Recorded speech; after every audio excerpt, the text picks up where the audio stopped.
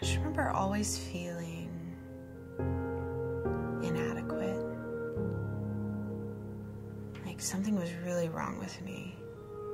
Because I didn't get the attention from my father that I think every girl should have, I looked for attention from guys. I would date and date and date and date. It was really lonely. Then I found one that um, I thought was my Prince Charming. He was everything. I had found a guy that was beyond my wildest imagination and who loved me. Oh my goodness. It was the most exciting, it was the most exciting thing. It was like being on cloud nine. I might as well have just handed my heart to him on a silver platter within a couple of weeks because it was incredible. We were engaged after three months. I was thrilled. I thought I had found the love that I had always been looking for, you know? And I was just taken. I just thought he was awesome. It's interesting having what you thought you always wanted and still feeling completely empty.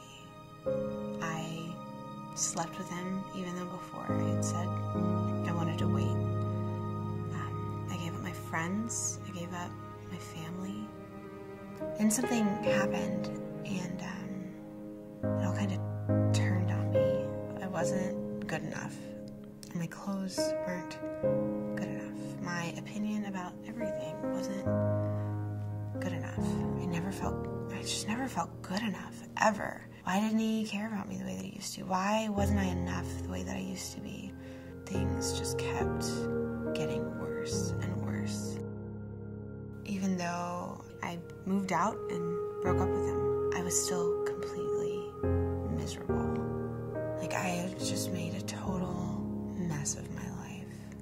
I was so lonely and I would pray.